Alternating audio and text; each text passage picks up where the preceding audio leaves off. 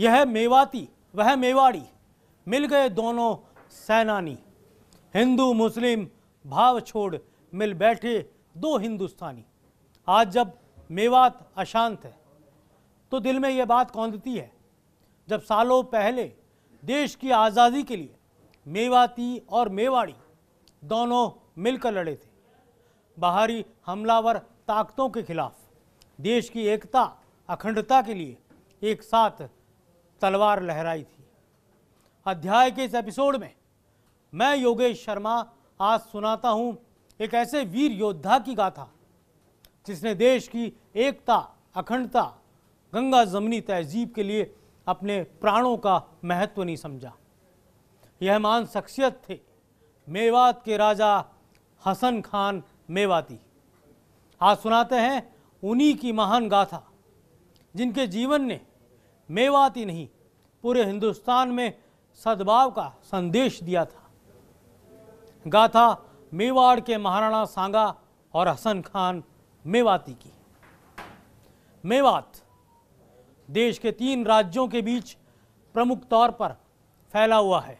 यह राज्य है राजस्थान, हरियाणा, पश्चिमी उत्तर प्रदेश, साथ ही बाहरी दिल्ली का एक बड़ा हिस्सा। बड़ी संख्या में मेव यहाँ बसते हैं। आगे बढ़ने से पहले ये जानना ज़रूरी है, कौन थे मेव? राजस्थान राज्य के अलवर, भरतपुर, हरियाणा राज्य के गुरुग्राम, फरीदाबाद नूह और पश्चिमी यूपी के, मथुरा ज़िले के मेव बहुल इलाकों को बनकर बनता है मेवात।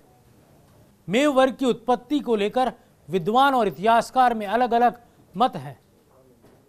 इतिहासकार कनिंगम लिखते हैं ये वही मेघली जाति है जिसका यूनानी लेखक पलायिनी ने सिंधु और यमुना के बीच में बसने वाली जातियों के बीच विभाजन किया था।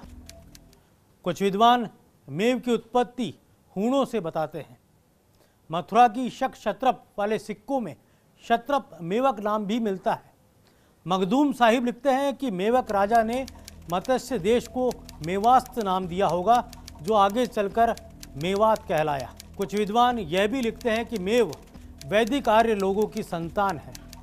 ये सूर्य को पूज्य मानते रहे हैं। मेय शब्द से मेव की उत्पत्ति हुई है। ऐसा ये कहते हैं। मेव बारह पाल और लगभग चालीस गोत्रों में विभक्त हैं। मीणा वर्ग में भी बारह पाल और इतने ही गोत्र बताए जाते हैं। कई गोत्र मेव और मीणा वर्ग में आज भी एक जैसे ही हैं। इतिहास में मेव जाति का निवास मेवाड़ भी कहा गया है। आज भी यह भाग मेवल कहलाता है। मेरवाड़ा में अब तक भी मेव आबादी बसती है। ये कब यहाँ से हटे, ये किसी को पता नहीं। बहरहाल, मेव प्राचीन हिंदुस्तानी कौम थी। मज़हब के लिहाज से मेव मुसलमान थे, लेकिन अमल के लिहाज से सिर्फ़ हिंदुस्तानी। एक ज़माने में मेव मुसलमान, होली, दीपावली, मावस, दशहरा, जन्माष्टमी जैसे हिंदू त्योहारों को भी मानते थे। मेवात के मेव शासकों ने हिंदू देवी देवताओं के मंदिर निर्माण के लिए मुफ़्त ज़मीनें भी दी थी। कहा जाता है कि नगीना के अस्तल में सीताराम जी और हनुमान जी के मंदिर की ज़मीन मेव शासकों द्वारा दी गई। कालांतर में कई कारण रहे, जिससे धार्मिक कट्टरता पनपी। और आँच आई गंगा जमुनी तहजीब। नूह की घटना ने सांप्रदायिक सद्भाव को झकझोर दिया है। मेवात सांप्रदायिक उन्माद की आग में जल उठा है। लेकिन मेवात पहले कभी ऐसा नहीं था। इतिहास में कभी नहीं। यह तो राजा हसन खान मेवाती की धरती रही। जो स्वातंत्र वीर थे, ये धरती रही गंगा जमनी तहजीब के प्रवर्तक संत लाल दास की। आज बताते हैं मेवात का गौरवशाली इतिहास, जहाँ मेव मुस्लिम ही नहीं बसते, हर कौम बसती है। ये वही मेव है जो विभाजन के वक्त पाकिस्तान चले गए थे, लेकिन नया मुस्लिम मुल्क इन्हें पसंद नहीं आया और लौट आए अपनी मातृभूमि पर। इतिहास में कम ही लोग हैं जिन्हें सदियाँ याद रखती हैं। इन्हीं में से एक थे राजा हसन खान मेवाती। कहा जाता है कि 400 साल पहले अलवर और मेवात पर ठट्ठा के खान जादव का शासन था। फिरोज तुगलक के कालखंड में गढ़ मलिकपुर चंपानेर, राजपुर समेत कई इलाकों के बहुत से यदुवंशी और परमार राजाओं ने इस्लाम धर्म ग्रहण कर लिया था। ठट्टा के यदुवंशी शासक राजकुमार सांबरपाल ने भी मुस्लिम धर्म ग्रहण कर लिया था। किवदंती है कि महफूज खान नामक किसी मुस्लिम सूबेदार की रूपवती बेटी के प्रेम पाश में बंधकर सांबरपाल ने धर्म परिवर्तन किया और आगे चलकर राजा नाहर खान कहलाए। नाहर खान या सांबरपाल की तीसरी पीढ़ी में ही लोधी वंश के शासन के दौरान अलावल खान का जन्म हुआ। अलावल खान के यहाँ हसन खान मेवाती जन्मे। कहा जाता है कि हसन खान मेवाती और इब्राहिम लोधी आपस में मौसी के बेटे भाई होते थे। सन 1570 ईस्वी में जब इब्राहिम लोदी दिल्ली के सुल्तान बने, तब हसन खान को अलवर मेवात का इलाका दिया गया। हसन खान ने अपने समय में अलवर मेवात को समृद्ध बनाने में कोई कमी नहीं रखी।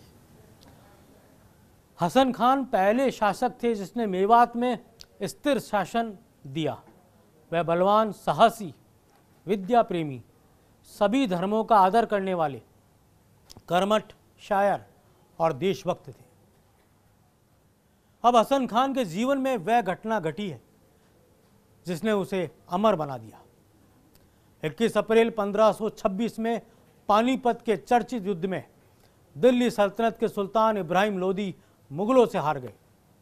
इब्राहिम लोदी की मौत के साथ ही दिल्ली साम्राज्य से लोदी वंश समाप्त हो गया। कहा जाता है बाबर ने इब्राहिम लोदी की हत्या कर दी। मुगलों की वीरता के आगे खान खानजादों की सेना भी ठहर नहीं सकी।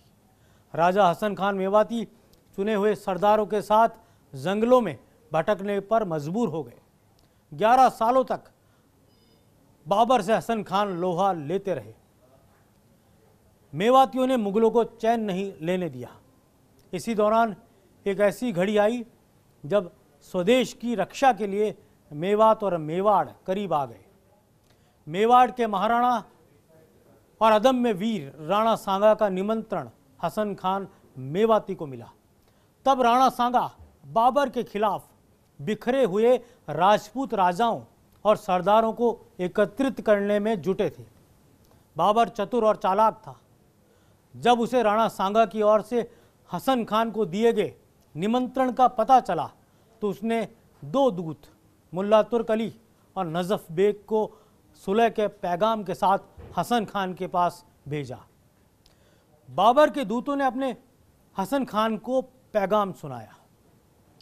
बाबर ने प्रलोभन दिया कि वह हसन खान को मेवात का स्वतंत्र शाह बना देगा। यदि वह एक बार बाबर को आकर ताजीम दे, हसन खान के पानीपत युद्ध में बंदी बनाए गए एक पुत्र को भी रिहा कर दिया जाएगा।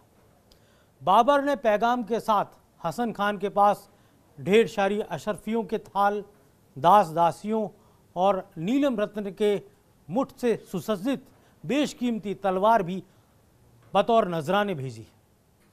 बाबर को इस बात का अंदाज़ा था कि राणा सांगा की सेना अभी दूर है।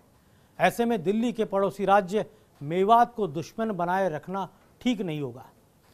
ये राजनीतिक नियमों के भी विरुद्ध होगा। पड़ोसी की शत्रुता अच्छी नहीं होती। इसलिए बाबर ने राणा सांगा से युद्ध से पहले हसन खान को अपनी ओर मिलाने की रणनीति बनाई। मगर हसन खान मेवाती तो उस माटी का सपूत था, जिसके कण कण में देश प्रेम की भावना बसी थी। स्वदेश प्रेम की खातिर राजा हसन खान मेवाती ने बाबर की ओर से भेजा गया आकर्षक प्रस्ताव ठुकरा दिया।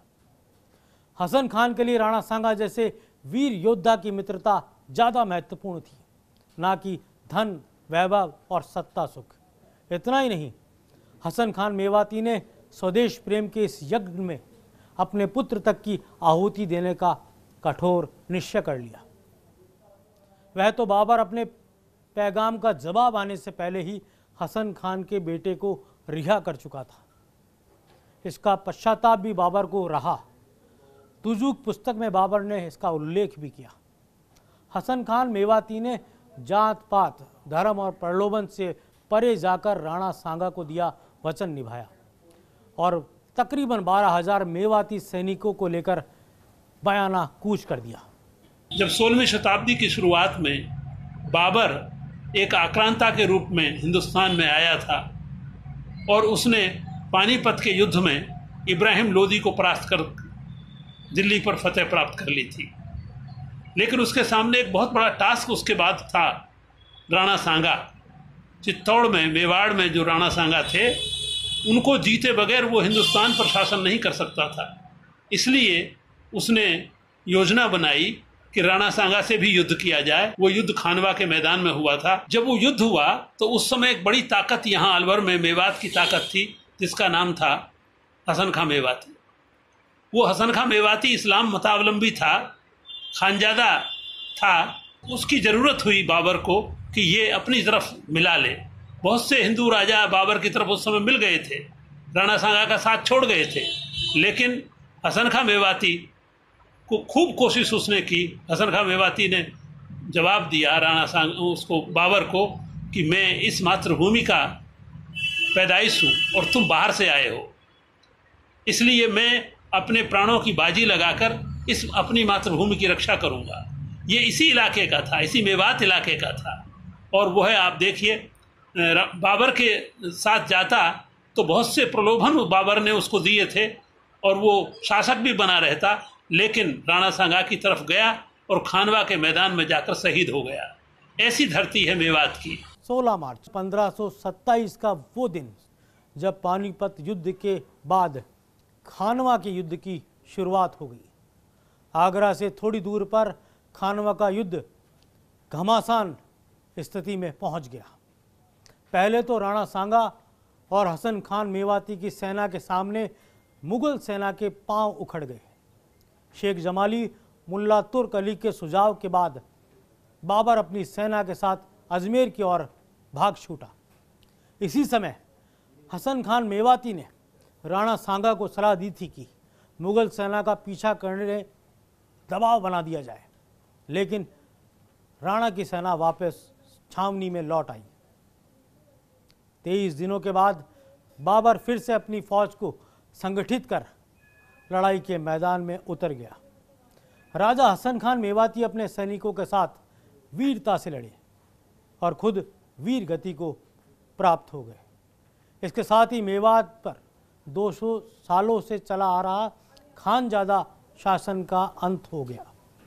वही खानजादा जो कि चौदहवीं शताब्दी में मेवात के वली बने थे। मुगलों से हार के बाद आगे चलकर मेवात मुगल साम्राज्य का एक हिस्सा बनकर रह गया। खानवा युद्ध की जीत के बाद भारत में मुगल साम्राज्य का विधिवत उदय हो गया। कहा जाता है कि हसन खान को अंतिम युद्ध से पहले उनके गुरु सैयद जमाल अहमद बहादुरपुरी ने बाबर से लड़ने से मना किया था। बचपन से हसन खान मेवाती सैयद साहब की आज्ञा का पालन करते थे। लेकिन बाबर से युद्ध के वक्त हसन खान ने वो मैदान छोड़ने से इनकार कर दिया, जिसमें आगे चलकर वो वीर गति को प्राप्त हुए थे। वीर गति प्राप्त होना उन्होंने स्वीकारा। इतना ही नहीं हसन खान अलवर से विदा होते समय ये कह कर गए थे कि वह मेवात की स्वाधीनता लाएँगे या उनकी लाश वापस आएगी। खानवा के युद्ध ने देश में मुगल सत्ता को स्थापित कर दिया, लेकिन राणा सांगा और हसन खान मेवाती का बलिदान इतिहास में अमर हो गया। हिंदू मुस्लिम एकता के प्रखर व्यक्तित्व के तौर पर राजा हसन खान मेवाती का नाम स्वर्ण अक्षरों में गिना जाता है। मेवात में एक ऐसे संत भी हुए, जिन्होंने धर्म की खाई को पाटने का काम करके दिखाया और दिया गंगा जमनी तहजीब का संदेश। मेवात के ये संत थे संत लालदास। अलवर के समीप धौली धूप में जन्मे महान संत लालदास, प्रखर संत दादू दयाल और महाकवि जायसी के समकालीन थे। भक्तमाल में भी नाबादास ने इनका वर्णन किया है। मेजर पाउलट ने अलवर गजेटियर में संत लालदास के बारे में विस्तार से लिखा है। गंगा जमनी तहजीब के प्रवर्तक लालदास ने अपने दोहों के ज़रिए लिखा है, कहे लाल साई को प्यारो, श्रवण सुनो एक शब्द हमारो, हिंदू तुर्क एक सो सूजे, साहब सब घर एक ही सूजे। लालदास के अनुयायी हिंदू और मुस्लिम दोनों हैं। शेरपुर में इनकी समाधि है, जहाँ हर बरस मेले भरते हैं। धोली दूब में भी ऐसा ही होता है। मेवात में रहने वाला मेम समुदाय इस्लाम धर्म का अनुयायी भले ही रहा हो, लेकिन उसने कभी कट्टरता को स्वीकार नहीं किया। इसकी वजह रही, यह समुदाय बारहवीं सदी के बाद उत्तर भारत में चले सूफी आंदोलन से प्रभावित होकर प्रेम और बराबरी के आधार पर इस्लाम की तरफ़ झुका था। अन्यथा, जब तक ये अपने आदिम पहाड़ी जनजाति की तरह रहा, तब तक अरावली पर्वतमाला में रहने वाले मीना समुदाय के साथ इसकी ना केवल नज़दीकी रही, वरन इन दोनों समुदायों की आपस में रिश्तेदारी भी रही। दरिया खान और शशि बदनी की प्रेम विवाह की बात आज तक मेवात में प्रचलित है। लेकिन जब से वोटों पर आधारित चुनाव पद्धति चली है, तब से ही आज़ादी मिलने के बाद के कुछ सालों को छोड़कर जाति और संप्रदायों पर आधारित वोट विभाजन कर ध्रुवीकरण की प्रक्रिया भी शुरू हो गई। उसी का परिणाम है सांप्रदायिक सद्भाव का बिगड़ना। अध्याय के मौजूदा एपिसोड का अर्थ यही है, मेवात के अतीत में रही प्रेम मिठास गंगा जमनी तहजीब को फिर से स्थापित करना। वही पुराना मेवात हो, जो धर्म और कट्टरता से परे हसन खान मेवाती का मेवात हो, जहाँ सांप्रदायिक उन्माद और गोकशी की कोई जगह ना हो। राजनीति हो, लेकिन धर्म के मुताबिक नहीं। मेवात के अजीम शायर, सन्नू मेवाती का एक मशहूर दोहा है। नू तो सारे कौम ही रहा एक ही साथ, मेव घनी तादाद में नू बाजे मेवात। अध्याय के अगले एपिसोड में फिर एक नई राजनीतिक गाथा के साथ आपके सामने हाजिर होंगे। कहते हैं अलविदा। नमस्कार, जय हिंद।